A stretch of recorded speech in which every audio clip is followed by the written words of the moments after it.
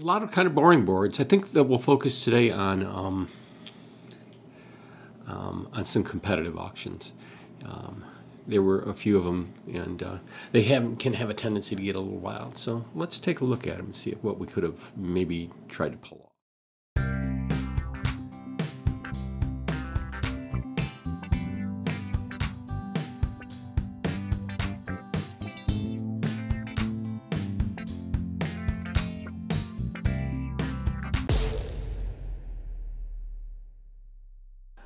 So on board two, we have a situation where we can, um, the auction is going to game level. Um, and what we want to do is, as we take a save, we're not the strong hand here.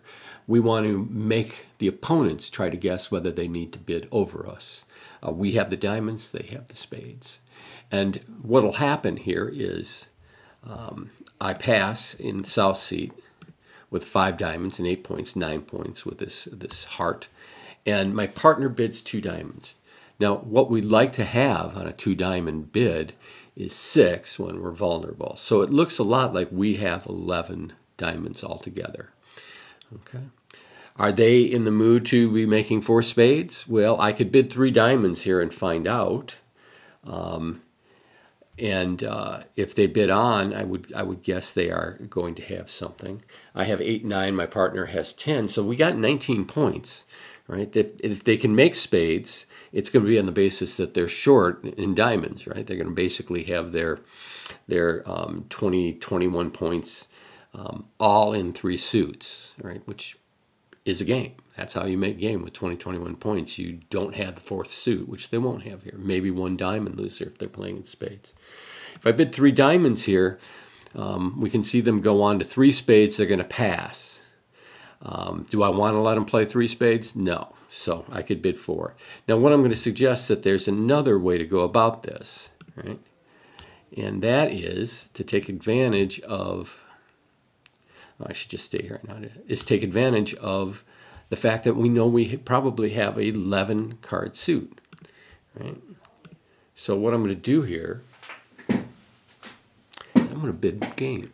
Okay, so I pass, Right? I got two aces. I got a void and spades. We got 11 trump. I don't think we need to worry about spades at all. They got at least, uh, my partner may have four, but I'm short, right? So I got two aces, an ace in a side suit, an ace in the suit that he's bidding as an overcall. Why not? Right? We're playing imps. Bid five diamonds. Now, I'm going to stop right here, hopefully. I've watched the robot screw this up before. Right. Um, they won the, on the first trick was a spade, and they won the, the king. That's the only spade trick they'll be taking. They switch to a diamond, uh, all well and good.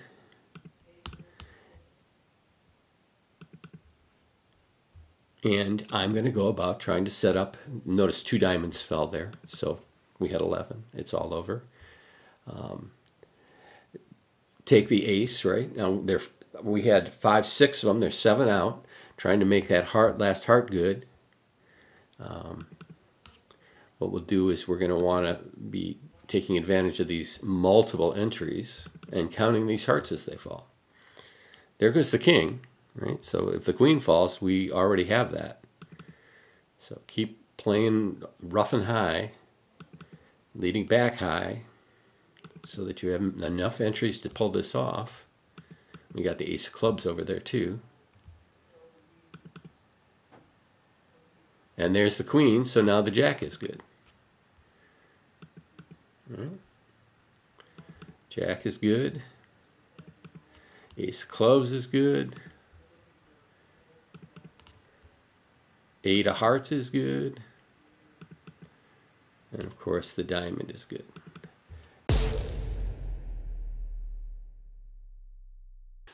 Board three, I, I, just wanted to discuss this auction a little bit. It's something that, that, that you'll find as you advance that, that better players do, right? Which is um, when to bid a four card major as opposed to your diamond suit. Um, South starts with the club, and we have 10 points, although the jack of clubs is sort of meh, and the heart is only going to be good if our partner happens to have hearts, which is not our suit. So I'm treating this as a constructive hand, right? It's one that's going to get to game if my partner has a good invitational hand, but otherwise not, or better.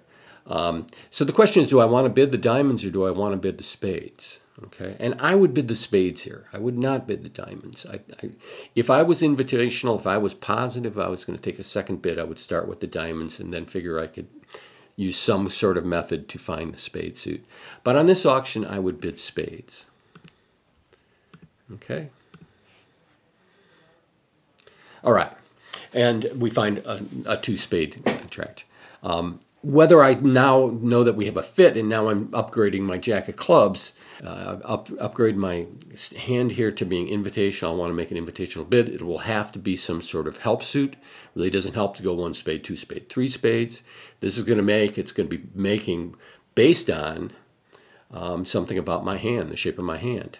Maybe a bad decision anyways. And he goes to spades. And as it turns out, that was a bad decision. As spades cannot make, so we'll need help from from from uh, the opponents on this one. It's down one otherwise because we don't have any spade honors. So.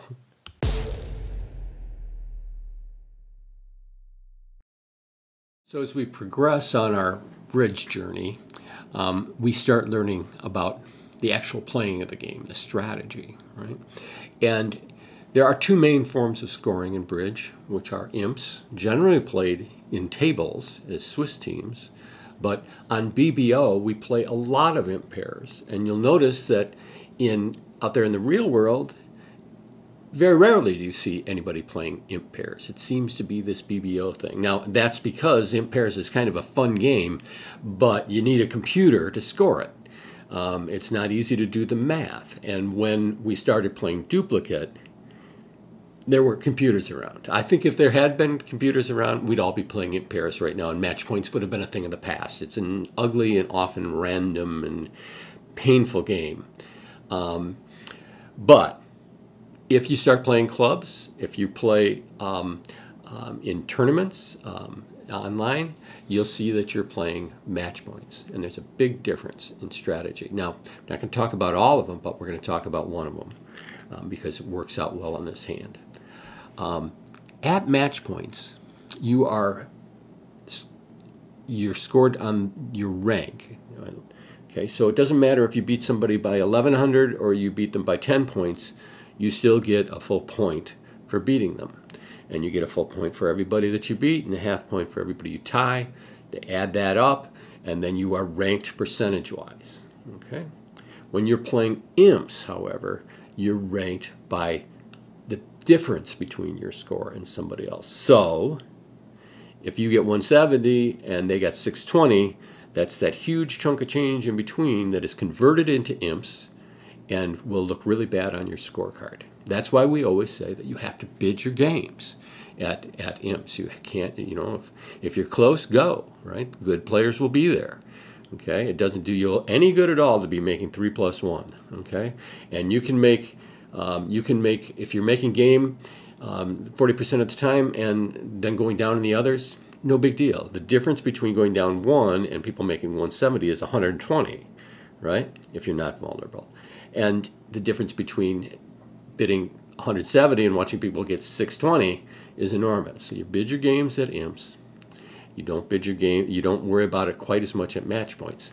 The other thing you don't do is worry about balancing as much at imps.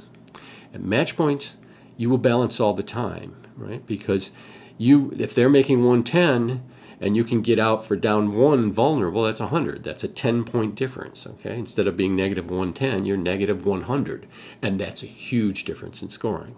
So we balance a lot in match points all the time. It's one of the things that will make you crazy about, about match points. But in imps, it's not necessarily the same, right? Because if they're making 110, and right, then you're negative 110. And if you're going down one, then you're negative 100, right? So the difference between negative 110 and negative 100 is non-existent at imps. It literally, you get the same score, right? The problem is if you balance aggressively, you're going to get doubled sometimes, even at imps, And when you take that that 500, that 800, uh, you're going to you're going to have this huge imp swing that was unnecessary. It was because you felt compelled to balance. So we balance much more with much more uh, consideration at imps, or at least we should. So here's a hand, uh, this is board four, where this comes up, right? I have six, seven, eight, nine. This is not enough to overcall two diamonds um, at the when I'm vulnerable, so I pass.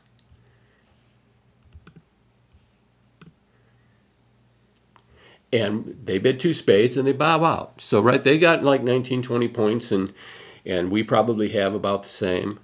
And I have this five card diamond suit. The question is, should I balance? Okay, or should I double? Right. Um, at match points, I'm going to bid something. I'm not going to just let them walk out with two spades here. They have a fit, we must have a fit someplace. Um, and I probably would just bid three diamonds and uh, see what happens. On this hand, I'll bid three diamonds and I will get doubled. Okay. Um, if they're only making two spades, that's plus 110. If they're making three, if they get an overtrick, that's 140. Right. If I bid three diamonds, ah, they doubled last time I played it. Um, or maybe it got doubled at the table. That's what happened. The table, um, somebody offered up this three diamond bid and it got doubled, right?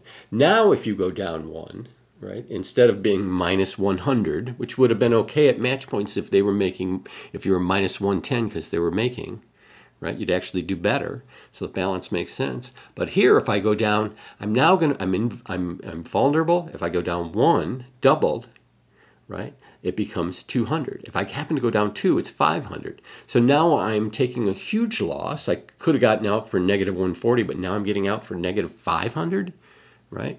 And I'm being scored on the difference in between.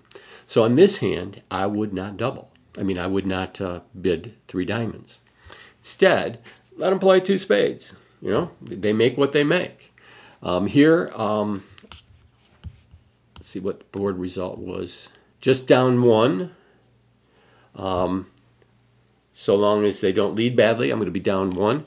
Down one is uh, 200, right? I was going at, I was going out at maybe negative 110, negative 140, and probably lots of people were, but I managed to find a way to turn it into negative 200, right? Which is 80, 90, 90 points or 60 points. It's going to be two, three, four imps, right? If it happened to get worse, right? If I made a mistake and took it double, now we're talking a huge swing for absolutely no reason except for you felt you've been told to balance. Always balance, you know, always balance. No, especially at imps, balance for good reasons, not for bad reasons, and there was no good reason to balance on this one. Okay, so on board six, we'll return to the theme. Um, should we be competitive auction? How high did we go? Um, South starts with a diamond, and I have an easy overcall, right? It was spade. I've got six of them, and I've got 11 points. I've got a pretty decent hand, right? Partner bids two spades. Seems like we're in a fine place, and we'll leave it at that. The double here um, over the, this shows the other two suits, so I'm not even sure that they have a fit at this point.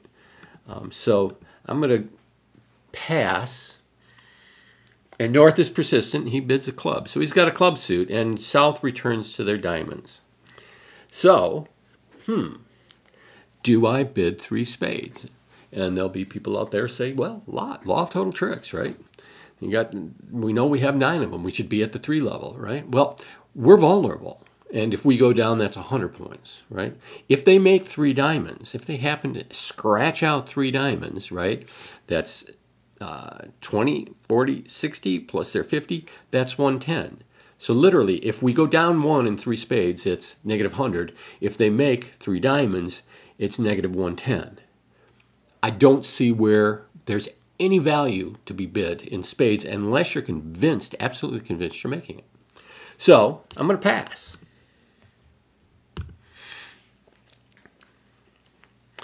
I mean, it, obviously they have some awkward situation here because of the you know the double and and uh, South didn't bid again, and then North offered up three clubs, which is probably um, five or six at least, and and then they end up back in three diamonds. Um, does not look like a strong auction for them. Um, I'm going to start with the spade,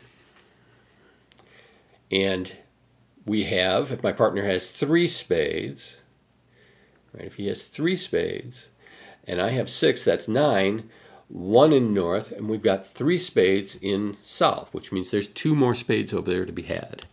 Um, but I got to get rid of trump first.